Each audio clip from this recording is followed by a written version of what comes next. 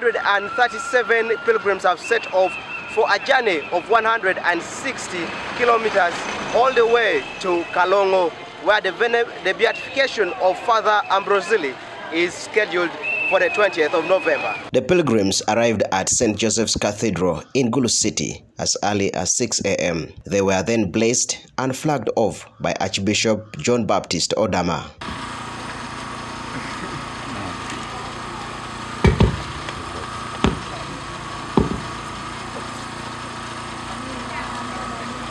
This is in preparation of the beatification of Father Joseph Ambrosoli on the 20th of November 2022 at Sacred Heart Parish in Kalongo, Agago District. There are 400 pilgrims. They are also being flagged off this morning. In Lira also they are being flagged off. And old venue Kalon where the Venerable Father Dr. Joseph Ambrosoli is going to be beatified.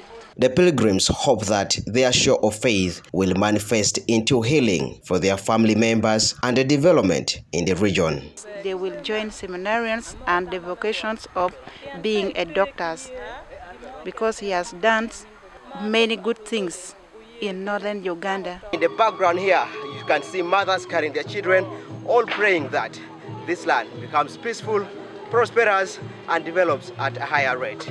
For more than 40 years, Father Ambrosoli dedicated his life to helping the people of Kalongo and is most remembered for expanding a dispensary into a fully fledged hospital and opening a midwifery school. And that's why we want to show uh, our, our, faith in uh, the, the, the working that we are doing. We know God has been good with us because He has sent for us very many uh, people to help us in uh, Gulu as a Acholi region. The mayor of the Bardege Layibi division, Patrick Lumumba, is among the pilgrims. He is praying for an end to domestic violence in northern Uganda.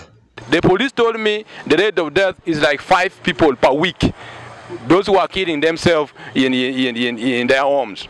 Those who are those who are wives and husbands, and this is alarming. The chairperson of the organizing committee, the Vicar General Monsignor Matthew Odong, confirmed that 337 pilgrims have set off on foot from Gulu City to Kalongo. Ambrosoli was a priest and a medical doctor who served with love and compassion, without irrespective of either religious, political, social economic affiliation.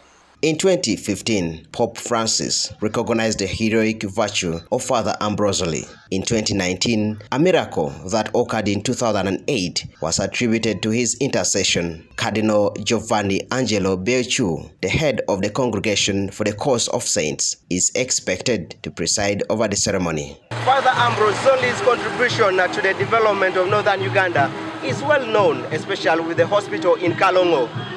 Joseph Omagor reporting for the news in Gulu City.